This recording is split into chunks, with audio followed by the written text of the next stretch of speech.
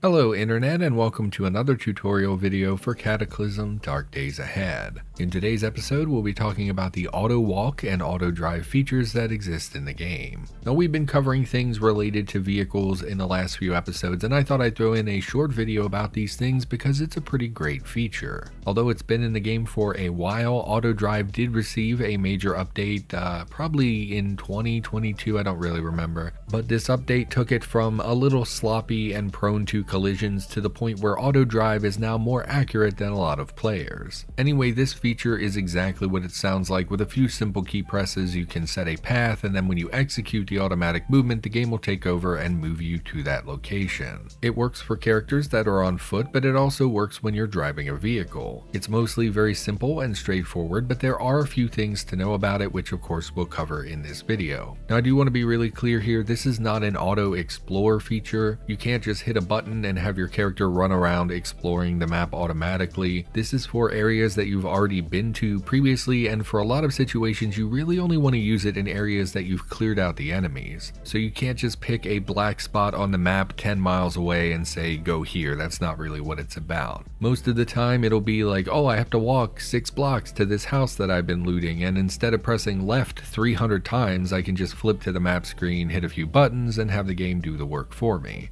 And just to pop in here with an addendum, I just today learned about another form of auto movement. I had no idea this existed, but it lets you auto move in a specific direction from the main game screen. Since I just learned about this after recording the initial bit of this video, I might have said some things like uh, this is the only way to do it or something like that, which I can't actually edit out. However, I promise we will cover that in this video even if it doesn't sound like it. Right, but anyway, to access auto move, you'll need to open your map screen. It cannot be done from the main game screen. The map command is the lowercase m key by default default. Once you're in the map menu, which we've never covered in a tutorial, I guess, and I probably should at some point, but once you're on the map screen, your current tile will be selected. The blinking cursor here indicates this position and you can move that indicator with uh, whatever keys you normally use to move your character. So you're going to move the indicator to the tile that you wish to move to. You'll then press the capital W key to create a route which will then be displayed using blue exclamation points. Now yours may look different from mine here. I changed my dark blue to teal or cyan or whatever this is just to have better visibility on YouTube. Now unfortunately once created you cannot adjust this path in any way. So maybe for example the route is going to take you through a tile that you would prefer to avoid. You cannot actually do anything about that. This is the only path that will generate from your current location to that selected location. However, you can try selecting a different tile and pressing the capital W key again in a new spot which will generate a completely new path. So basically what I'm saying is that if you have to take a long journey and it's taking you somewhere you don't want to go, maybe instead of doing that you break it down into three smaller journeys where you have more control over your destinations. Once this path has appeared, if your indicator is still over your destination, you can press the capital W key again. This will then give you a prompt asking if you're sure you want to auto move to that location. If you select yes, then the game will take over and you'll begin moving. Whether you're on foot or in a vehicle, you will then be returned to the main game screen to follow your character's movements across the map.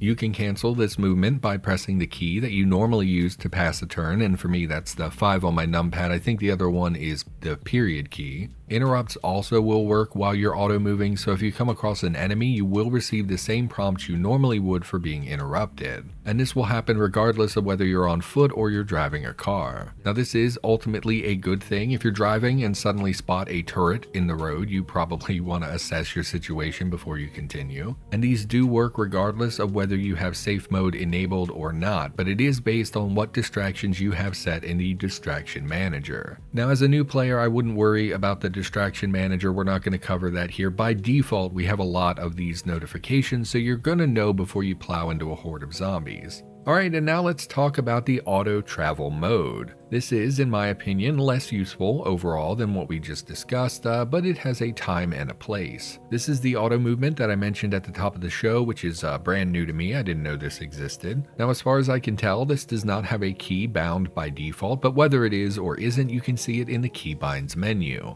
Press the question mark key on your keyboard and then search for auto. It will be listed there as auto travel mode. Once you've bound a key for this command, you can then press it while you're on the main game screen. At least in UltiCa, this will then display a yellow square around your character when you move to indicate that it's enabled. There will also be a message printed in the log when you toggle it on or off. Now, if you hold a movement key, your movement will automatically path around obstacles. In other words, if I went into the forest and simply held any movement key without this mode enabled, I would eventually come to a stop against a tree or uh, I will get a prompt for dangerous terrain. However, if I do this with auto travel mode enabled, my character will automatically path around trees and do its best to keep me from stepping onto thorny bushes. Now, like I said earlier, this is brand new to me, despite, you know, I have many, many hours in this game. I have absolutely no idea when it was added or how often this will actually be useful in your average game. Even so, at the very least, it seems like a fantastic tool for when you want to move through a forest. Now, the only issue I've seen here is with safe mode. The other auto travels that we talked about earlier in the video will interrupt you if you spot an enemy. This mode, however, does not do that unless you have safe mode enabled. Now we've never covered safe mode in any of these tutorials, mostly because I never use it personally, so I'm not like super familiar with it. It can be toggled on and off using the exclamation key, I believe is the default keybind, and yeah, I would recommend it if you're going to be using this and just holding down a movement key. If there are other use cases for this mode, someone please hit me up in the comments so other people uh, can see that. As I said, I'm not very familiar with it. And with that, we're going to go back to the, uh, I mean, whichever part of the video I'm going to splice this into, so it might be a little bit of an awkward cut. And that is ultimately the whole spiel about auto movement. It's very straightforward, but now I've got a bunch of miscellaneous information that might be helpful to you. First of all, while auto drive is pretty fantastic at avoiding cars and wrecks in the road, it is not flawless. I have not personally seen any collisions outside of the testing for this video. I did actually crash, which we'll talk about uh, here in a moment. But anyway, I don't want you to assume that just because it's very good that it's completely safe. There is a chance that you will collide with something. And for the record, that is only talking about static objects. When it comes to zombies, auto drive kind of falls apart. It won't have you plowing through zombie hordes and it doesn't really avoid them either. Because zombies can move, they can block your path. You will get a warning like I described above, but if you ignore that warning, AutoDrive will most likely continue driving as best that it can, and then return control to you as soon as zombie comes in front of it. Now this is a bit of a problem because auto drive only moves at 12 miles per hour even on large open areas, so if you're stopped in front of a zombie or a horde of zombies, you're not going to have the momentum to easily crash through them. You may grind to a halt with the collisions, and if you're like me, you probably forgot to close your car doors and now you're being eaten and because of its difficulties with enemies, you should avoid using it in any capacity really in populated areas. Auto drive is otherwise very good at avoiding obstacles, and I can't really state that enough. If you're a returning player, you might remember it not being very good, but the rework really did improve how it functions. I even made a video at one point uh, with an obstacle course because uh, I don't know, and the system performed really, really well. Another note for returning players, I remember this feature being really choppy and jarring when it was first implemented.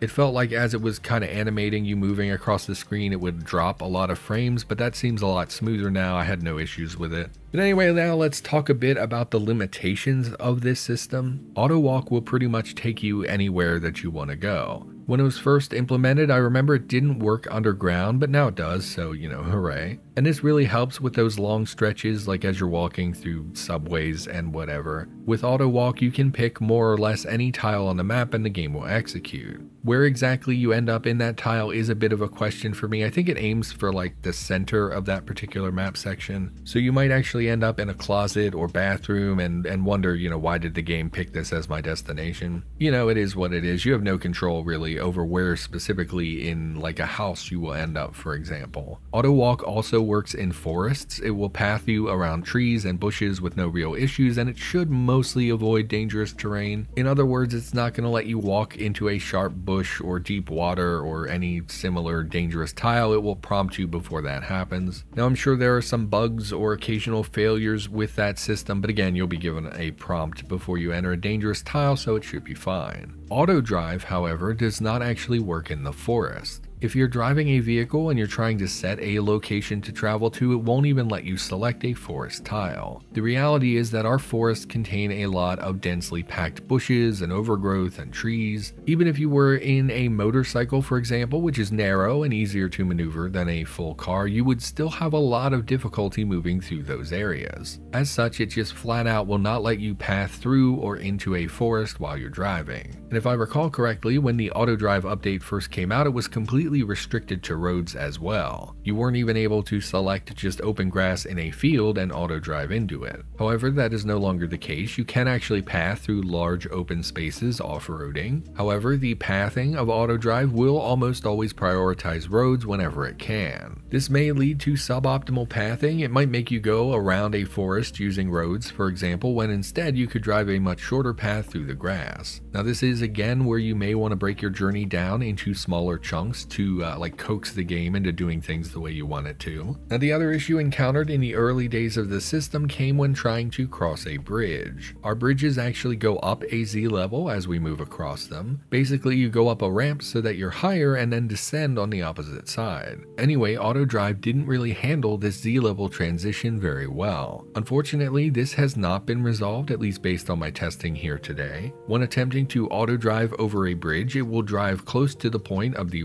and then cancel auto drive because it can't see a path forward. Now once I was on top of the bridge, I was able to get it to path automatically down the other side, but it did crash immediately into the railing, so I wouldn't recommend that. Just manually drive across bridges, it's not a big deal. Also, that is, I think, the first time I ever got a crash using the auto drive system, which I found, you know, obviously during testing here today. So that's really not great, but also whatever, it's still an amazing system. And uh, yeah, those are the major notes that I had, really, I guess. Like I said, it's a pretty straightforward system, and it looks like some of the previous limitations have been lifted. Driving through fields, for example, I was surprised in my testing that they had resolved that. I didn't actually know that. I don't use the feature very often personally. I've played since way way before all of that stuff existed, so I'm a bit stuck in the ways of doing things manually. Right, but that's all I've got here for you today. Everyone, thank you so much for watching. I've been on a roll lately, releasing these videos a little bit more regularly. Talking about vehicles and stuff has been really straightforward, and these have come pretty easily to me as I've worked on them. I'll be back in the near future with more tutorial content, and I'll see you next time.